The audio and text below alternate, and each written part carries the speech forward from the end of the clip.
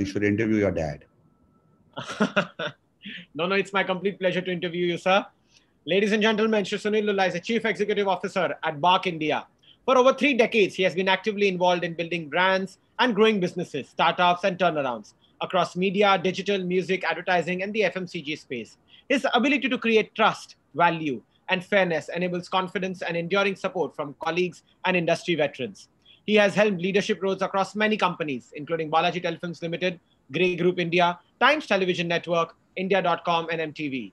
His early years were spent in sales and soon thereafter with J. Walter Thompson in senior position in India, China, and Taiwan. He was a member of the team which helped turn around Saregama HMV. He kickstarted and built MTV to a number one position in India. At Sony, with successful programming, he rebuilt the channel to a strong number two GEC. He started up India.com, subsequently acquired by News Corporation Star. He helped start, shape, and develop the Times Television Network, owned by the Times Group, which comprises of successful and leading television channels ET Now, Movies Now, Romedy Now, Times Now, and Zoom. Its TV channels are present in over 70 countries. At Grey, he initiated and led the turnaround of agency's growth and profitability, building a new team, new skills, robust new clients, and a vibrant culture. He has been a member of many industry associations and helps drive policy and agenda setting themes for advertising, media, and entertainment industry, and continues to be on the board of companies. He's a big advocate for self-regulation and upholding the highest industry practicing standards. He's a fellow of the Institute of Directors. Thank you so much, sir, for joining us. Thank you. That's very flattering, and I don't deserve it. you know, my first question to you, sir, how do you feel uh, being at the helm of a body which is the only industry currency for a $3.5 billion advertising market? I feel privileged. Uh, it's something that I got involved very early at the conception stage because I used to be a member of the television industry. I served on the board of uh, IBF. And uh, as a consequence, I was fortunate enough to be involved in the early nascent stage of the formation of BARC. Uh, it comes with a great sense of responsibility because you're building for the industry. And BARC is nothing else by, of, and for the industry at the end of the day, right? It's a measure for the industry so that trading can take place. And the derivative of that is obviously to do that trading, uh, channels get audiences. To get those audiences, they create programming and leveraging all of that is advertising, which the agencies help the, the advertisers uh, undertake responsibly. So I think it's a it's a it's a very big privilege. It's a very big responsibility uh, on my shoulders and my team's shoulders. Absolutely, sir. The COVID 19 pandemic did bring about a lot of disruption with respect to audience viewership patterns. Now, BARC did conduct weekly webinars to update its fraternity on the same. What were the key takeaways from those studies? Do you really feel that a lot has changed? Beginning April, we reached a certain plateau with reference to television viewership, and now it has little flattened the curve. Yeah, so the peak that we had has come down, right? But we are still at a very, very high uh, number, so to speak. I think we are still at 900 billion viewing minutes, more than 900 billion viewing minutes. It peaked at 1,000 uh, a billion viewing minutes, a billion billion viewing minutes. So that's a 1,000 billion viewing minutes. And it's come back to the pre-COVID days now, which is a normal curve uh, to kind of expect. The reason we saw that phenomenon happen because lockdown was fairly sudden, right? It happened and you couldn't go to work you couldn't go to school you couldn't uh, go to the marketplace mm. you couldn't do many activities so you were confined at home for the first 14 days or more mm. and then people also put on them a lot more self imposition of staying at home to be safe mm. offices and workplaces and factories didn't open up you know farmland also didn't open up as vigorously as it is now hmm. so when they are at home uh, what what do people who are used to being out do when they are at home one recourse, of course, they've got to help in the house and do other things, but one recourse was to look at television. So what is traditionally called non-prime time from uh, 0600 hours to 1800 hours, 6 a.m. to 6 p.m. basically. Mm. Those hours are the ones that saw a big shift in viewing, the big pickup in viewing. Mm. And it was men, women, kids. It was people who hadn't seen TV in 2020 until then. So they had gone out of TV, means they weren't watching TV, they were doing other things and they came into the they came into the category. Uh, Doordarshan bought back Ramayan, right? Stellar move in my view. Last seen in '86, you won Bond there, Kailash, in my view. In that time, yes. uh, I was considerably young, Uh, and a lot of people like you had not seen that show at that time, right? And because the family is at home and there are senior members in the household, they said, let's watch this. And guess what? It was the younger people watching this. It was more urban than rural watching Ramayana, right? Became the number one show in the world. There was no original programming because there was no shooting, right? There was no production of television, televised content. So the option was to see news, was to see movies, was to see kids. So news obviously peaked up. News went from a share of 7% of viewing to 21% of, of viewing. And then over a few weeks came to 14 and is now back at the 7 to 8% share of the category. Kids watched a lot more television before schools became online. Uh, movies became big. Once original programming started coming back, GECs are back and they're higher up in viewing than the pre-COVID period. So TV has always been the screen of the household. Mm. And during COVID, it reestablishes the screen of the household. So unfortunately, April, March, eh, the, in March, there was still a considerable volume of advertising because I guess contracts were being played out. Mm. Broadcaster con- client contracts were being played out. But we had a peak of viewing and we had a trough of advertising. That gap has never been as difficult to view ever before. Yes. Now advertising volume is higher than what it was last year. It is it is uh, at a at a good clip, right? So the fall, the shortfall that we'll see in this year won't be as bad as we first thought it would be if it had continued that way. So advertising volume is back. Whole host of different brands and categories came in, right? I mean, hand washing products and hygiene care products became something big. Digital products, education, things like that became big. Gaming. The gaming, huge. Digital services became big. So we saw that change over there. Now, of course, you see people buying more cars because they feel it's safer to travel in cars than to take uh, public transport. And there is not the pub and the public transport isn't as back as it used to be. It's it's still it's still going to take some time for it to be a full service. So luckily now I think advertising volumes are back. I think volumes value may still be a little behind. Yes. Because I think there has been some very smart bargaining that's played out. But the interesting part, I think, is in many categories, not all, but in many categories. And if you go by geography, by states, by languages, mm. the ranking order has changed. Mm. So in news, in many languages, the ranking order changed. Mm. What was one, two, three, four, five is not the same one, two, three, four, five of last year. So that got changed, which means audiences figured out some categories got fairly badly eroded in the sense people moved to some other things. Movies saw a lot, lot more pickup but there are no new movie releases. So this it's the erstwhile library which is really playing out. There aren't any significant uh, movie releases over there. So television is there. I'm quite sure somewhere on the side, digital has picked up fairly significant, mm. right? Because we saw more, mobile connection, higher data consumption, a lot more digital shows being launched. Uh, people stuck at home. Somebody's got the remote to the TV. Somebody's got the phone and is therefore switching choices over there. And I think because of the quality of programming run by the state too, that there was a lot of education about hand wash, sanitization, wearing a mask. Uh, it's been opportune. It's played a big role in educating people. Absolutely. The prime minister spoke four times in this year in, in four big moments. His biggest viewing has come in this year. The, the 14th it, April one after the and even before and after that, right? It's all come in the 2020 period, hmm. right? So all his speeches, they have been keenly listened to by the audiences, right? As to the messages that he has given out has been have been hugely accepted. So IPL had a great season, despite being in a very different time period, right, and a slightly time shifted period, but had a great season, uh, both in terms of viewing as well as in terms of uh, advertising. GECs have picked back the pace, have picked up the pace, hmm. and a lot of new shows uh, have got launched in multiple languages, not just in in Hindi. News has had some rank order changes, and there's been aggressive competition over there. So I think uh, every stakeholder piece has has has been able to take advantage of trying to woo the consumer. Absolutely. Now, since we were talking about television viewership and how it, you know, reached uh, a peak with Ramayana creating Ramayana and Mahabharat creating history being the most watched show on television in the world, we also saw, as you mentioned, sir, that we saw a peak during the pre-COVID, and now it is it is come to uh, the it's back at level. it's back at normal. Back at the normal level. But do you believe that now the threshold for that reach and time spent on television is higher than before, or it will go below? At as of last week, that uh, as of this today's results, as of today's data release, time spent is still higher than the average of pre-COVID.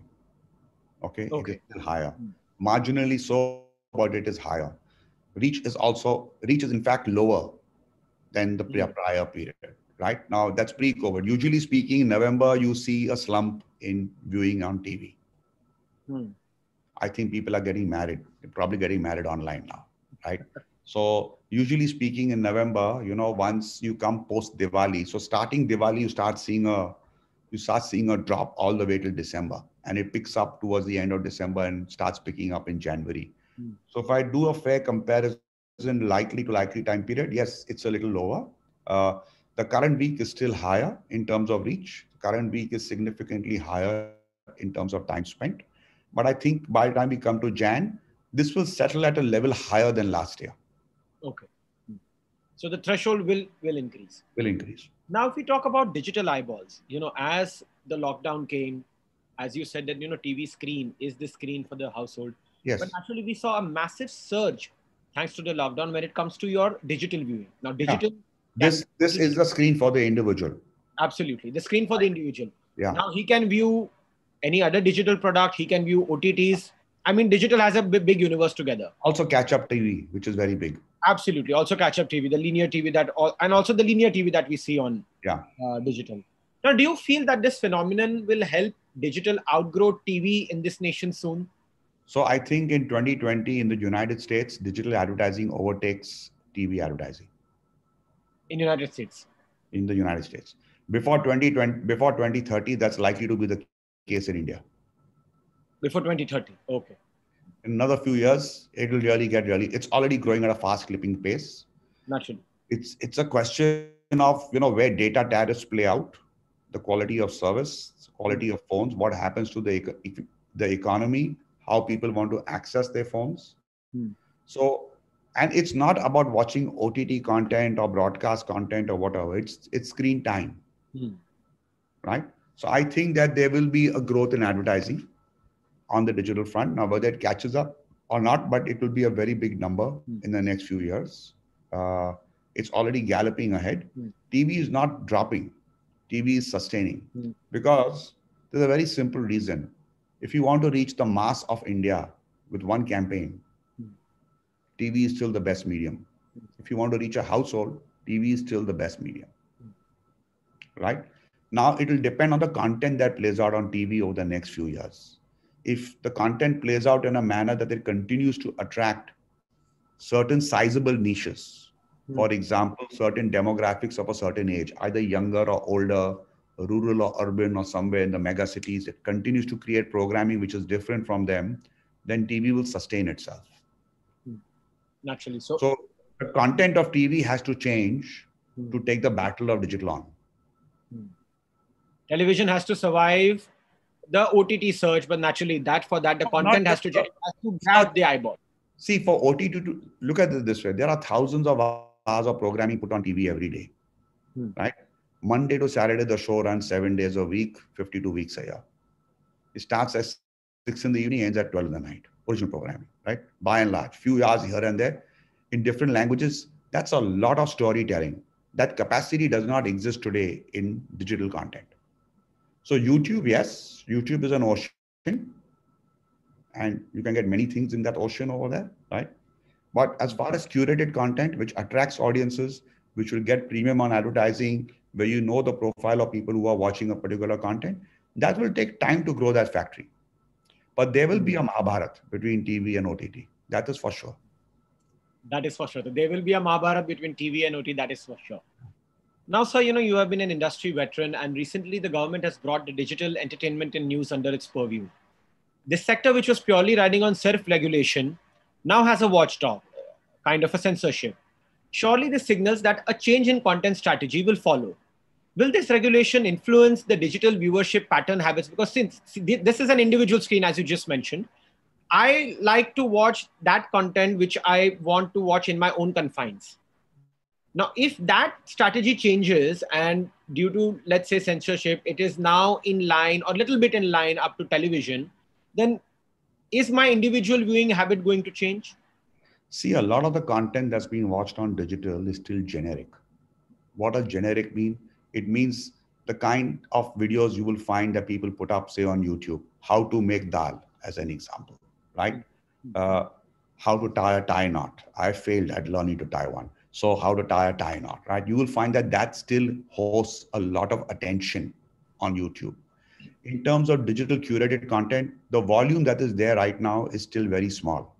And it appeals to a certain section of the society. It doesn't appeal to everybody the subscription content not everybody can is willing to pay that subscription price okay and will not be able to sustain it cable is still a cable or dth is still a more sustainable cheaper option so we need to understand that first before we get to what regulation can do the what's the difference between the two screens a screen for the household means india is a household demography right that's how we live largely speaking we as we are more than one person in a home, perhaps we are four as a as a safer projection. And somewhere there's two and three, and then there's even 25 if necessary. But we are uh, a household in terms of our cultural value. So we will see certain things on TV which are acceptable to all of us. Hmm. Right? Personally, you may be able to handle a lot more slang and you may be able to handle a lot more graphic violence, or you might like ghost stories, hmm. which will frighten little kids away, right? So that you may watch on your mobile phone or on your personal hand device. Now, the storytelling for the individual has to be different from the storytelling of the screen of, of the household. Absolutely. Right. So if the households are still there and they continue to watch uh, TV and they continue to get programming that they want to watch on TV, then I think both can coexist. I actually believe both will coexist we hmm. still have approximately close to 100 million homes still to get a TV set. Yes. So that gap has to be bridged. We have many people yet to get us, many hundreds of millions yet to get a smartphone, hmm. right? And the ability to pay for it. Hmm. And I'm quite sure there's an impact of the advertising which changes while the targeting benefit is there on a single screen. On TV, the impact of a campaign, which is of a larger size, is certainly different from the impact of a campaign on a smaller size. That's just visual optics, nothing else to it. I'm sure there's enough measurement science data to prove that it doesn't matter. But but the fact is that you watch TV together, you have a conversation, you watch it with somebody else. Your personal screen is your personal screen. Sure. Now, a lot of you know, uh, since you were speaking about television and kind of change in viewership uh, that uh, the data witnessed pre-COVID, post-COVID, during the COVID, a lot of niche channels, such as English entertainment, infotainment, they saw their last signal beam due to many factors. It could be NTO and then the pandemic being like the last nail in the coffin. Do you feel that these genres were any which ways dying a slow death and it was about time for them? You know, so there was many, some of the genres were sitting on libraries, which was sitting outside the country, largely in the United States, right? And these libraries needed to service the growing ocean of the content, the, the digital content growing in the Western part of the world.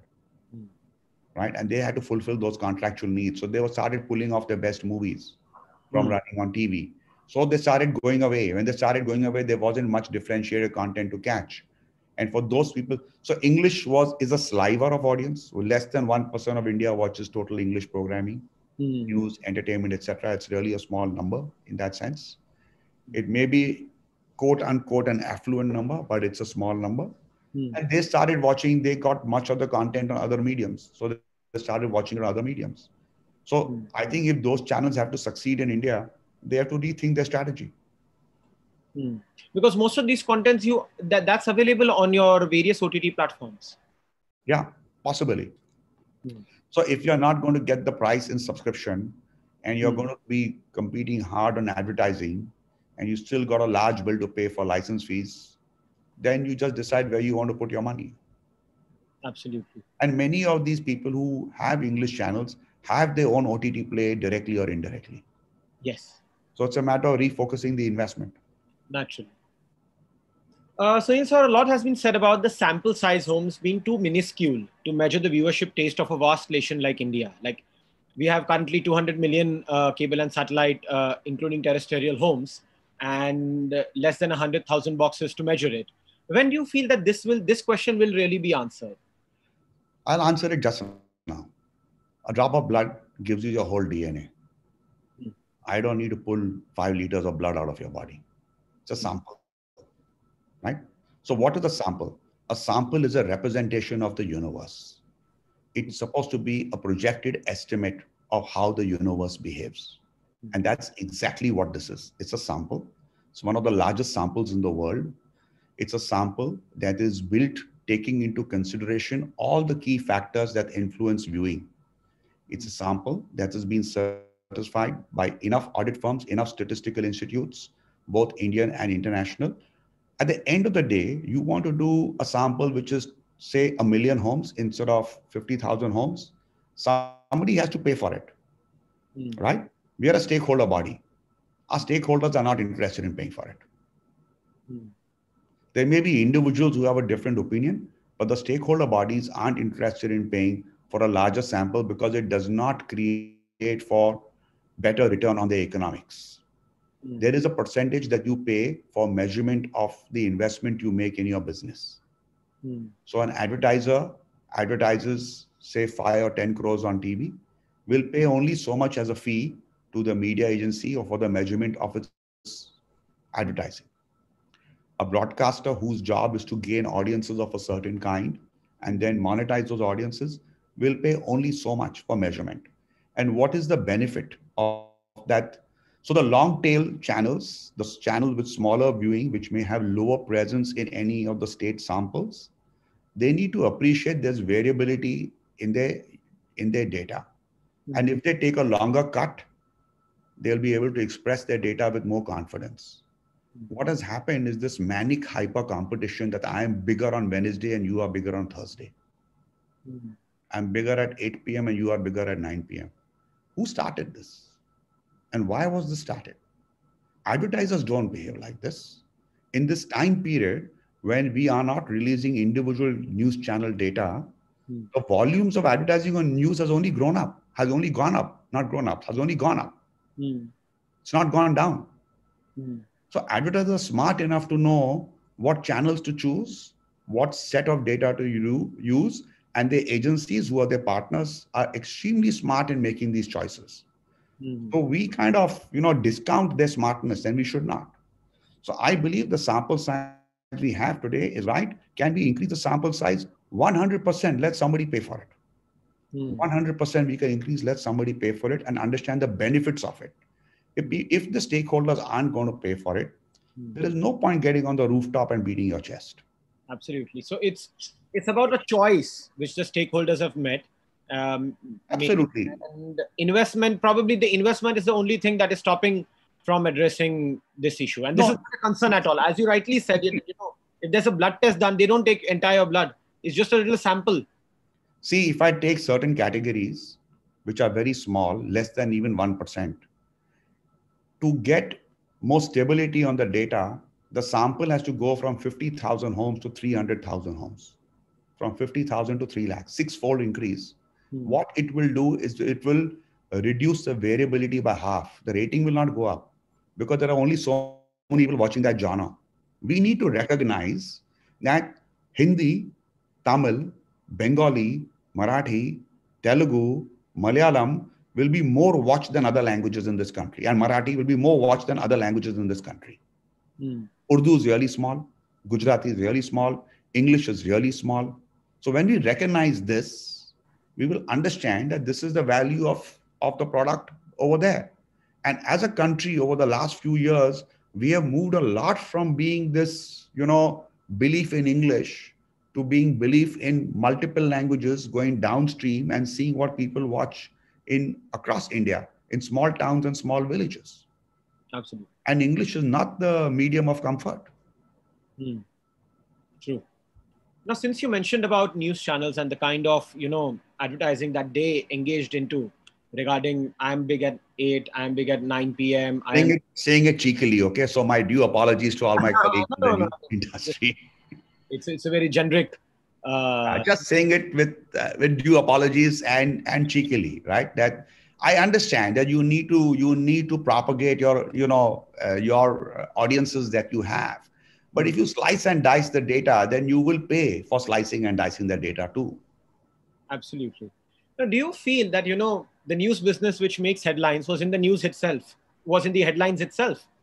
Do you feel that a certain section of news media pushed themselves too far with content? I mean, just with relating to content. I, I have no comment to make. It's not my job. It's not my duty. And even as an individual, I do not judge a channel by what they say. This is a democracy. Let people say what they feel like saying. True. See, there is a there are some very very evolved self guideline rules. I've seen it. I've sat on the NBSA. I've been in the NBA. I've been in the IBF, and I've seen this. The NBSA and BCC were created as instruments hmm. to navigate and guide the content creators in understanding the social fabric better. Hmm. Right now, if you push it, then something will happen it is better to self-regulate than to be regulated self-regulation is better see if you if you eat continuously and do not exercise and stay in a spot you will become overweight mm. you will become obese you will end up with diseases mm. if you want to enjoy life exercise a lot more run 42 kilometers mm. Like me and enjoy eating good food and enjoy eating good food and live healthily but make the effort right? Hmm. So self-regulation is significantly better than being regulated. The government steps in to regulate when you lose sight of the basic responsibility of self-regulation. Hmm.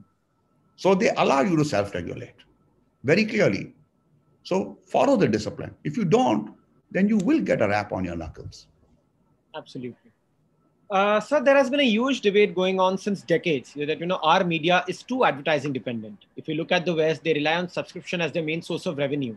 Here, revenue, as we know, that's directly proportional to the rating points, and rating points is directly proportional to your content, which, according to few, has led to the kind of regressive content that we see today. Do you feel that our industry, the Indian media and entertainment industry would ever be able to strike a fine balance between this that we are just too advertising dependent and subscription we just don't pay heed to? So I'd like to respond to the last part of your question first. Hmm. One is uh, let's not blame measurement for the nature of content we do. Hmm. Everybody has a moral compass. Everybody has a code. Everybody has a responsibility of respect to the consumer. Hmm. So please, pay, please put out the content that you believe your consumers can openly enjoy. If TV, even if it is on digital, mm. right, there is a cultural as well as a social fab- fabric within which we operate and a legal framework. All of it. Operate within that. Why do you want to operate outside of that? There should be no reason to operate outside that if you're a commercial business, mm. right, which wants public acceptance. So, one is operate within that. So, create the content that you think people are going to get viewed there are too many channels sometimes in some categories competing for attention. There is a degree of sameness in some of the things that are happening, and they need to introspect if they want to change or they want to continue that pathway. The question of subscription, India has never been a subscription market. Hmm. You take United States and take India since you said it. Let's look at newspaper. Times of India at 10 rupees will give you Times of India plus two more publications, Bombay Times and others, Mumbai Mirror, Economic Time, whatever, depend, Maharashtra Time, depending on what. I worked over there, so I know the packaging. Okay, I'm not trying to advertise them, but if you look at it, if you look at it, you it comes in your house, hmm. right? How is a newspaper read in a home? It is open. It's a broadsheet. It is shared. In the US, people picked up the newspaper. Either it came to the home as subscription or they picked it up on newsstand and they read it on the way to work. Right? Very big difference. Very big difference. And when the newspaper left behind, the other members of the house read it. So if you see a typical Indian family, the pages of the paper are, are distributed over the home. Everybody's reading their own page. And, you know, that was the excitement of, of the paper. Right? So, and that is at a reasonable price. It's 10 bucks today. It should be five bucks. It should be two bucks once upon a time, even less than a rupee, if I if I remember correctly. So that's where the basis of the subscription business came in. Cable, when it came into the country, was really cheap, continues to be very cheap. Mm-hmm. At that price, you need millions of consumers to be profitable to use only cable as a business. And because we have a price tariff regime, mm-hmm. right? And we can debate whether that is cheap or expensive or it's fair. But the point is, we have a price regime. We work within the tariff order of the price regime. Price is regulated to that extent. And the cable system does not always openly state what its numbers are. I mean, that's the common fight between broadcasters and cable owners, right? Or DPOs, right? There's a common fight over there. So you're not very few channels are going to make sufficient money on subscription alone. And it's not even direct subscription. Very often it's through the DPO. Mm. It's not direct. So if you subscribe for a Netflix, you're the direct subscriber. But when you're buying Tata Sky, you're buying Tata Sky and you're getting maybe 200 channels on it, depending what package you took. Mm. 100 channels, 200, 300 channels on it, depending on what package you took, right? Mm. So the broadcasters of those channels don't know who you are. It's coming through a via medium. Mm. So advertising has always been something in India which is seen as what stimulates demand. Mm. And I think it plays a very important role in the Indian economy. America, 3% of GDP. Advertising is 3% of GDP. In India, it's less than half. I think it's 0.4 now, maybe less. In COVID times, got to come to 0 or 0.3 back again. It used to be 0.3. So it's it's still got a long way to go. A developed economy has a 1% ratio between advertising and GDP. So we have headroom to grow, right? And advertising does influence people. And we are a market where both will exist. Mm. We will have subscription based services. It will not go to 100 million people or 200 million people. It may go to 25 million people. And we will have a, a market where there will be people who will watch things with ads. Because for many people, it's the, the cost of subscription is not so great. For the masses, for the 75% of India, it is the only way to inform, entertain, and educate. Absolutely. And to share, and to share, very important. The as you can see now, the, the idiot box lying in their house is the only way that they can entertain themselves. Well, you know, there are different things. In a in a time period where you don't have movies releasing, you can see the movie star on a dance show or a music show, yeah. right? Yeah. Where you don't have, uh, uh, where you needed information on COVID, where was it coming from? The news channels. Every single day, they will bring you an expert from somewhere in the world. They will bring you news and reports of what is going on. So I think we need to ourselves, as custodians of the industry, respect what the industry produces. Absolutely. So there will be a time where you know India will also see a good culmination between advertising and subscription. But yes, advertising will be dominant when it comes I think to. The, I think because many broadcasters in India are also players in the digital stream, they may have two different services. Hmm. So there are some independent businesses which are digital players, which we all know right? They are fairly big and powerful globally, and they will get big in India too. But there will be two different services. There'll be two different services. I, in digital media, you have an AVOD and you have an SVOD. So you have an advertising-driven service, and then you yeah. have. A... Yeah. Subscription alone on TV is very, very hard to do. It's very, very hard. So you need advertising in order to make a, a business model work. No, because when that screen is on, everybody is watching. No, so why don't you monetize it smartly? Hmm monetize it smartly, you know. Promote what needs to be promoted. In your household, you know, a new car, uh, a new destination when we can travel with more liberation, a new food item can be introduced to you via advertising on whichever medium, on whichever channels you're watching your home. Mm. Right? So I think advertising will continue to play a very, very strong role. It's a part of building the Indian economy. If there's a dream to build and a goal to build a 5 trillion economy, advertising will play a very pivotal role in creating consumption and demand. Let's understand that.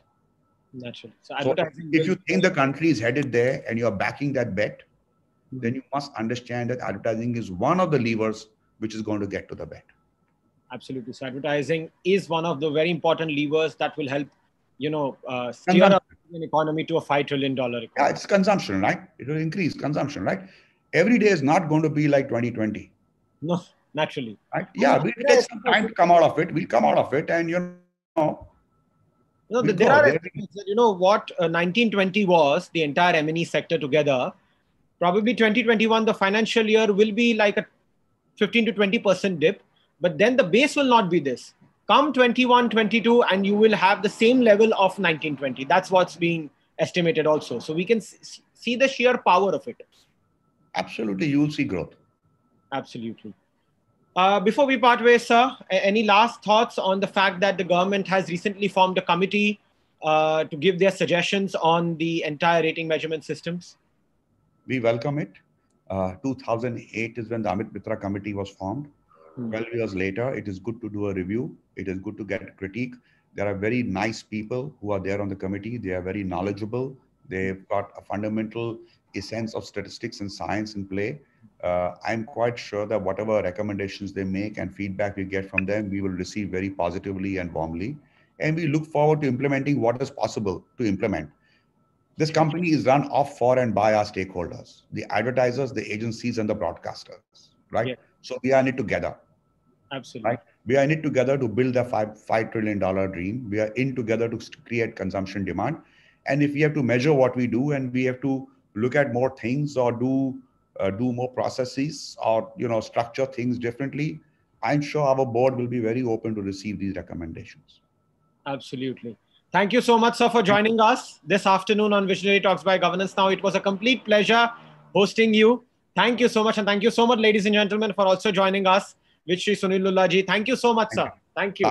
Thank you.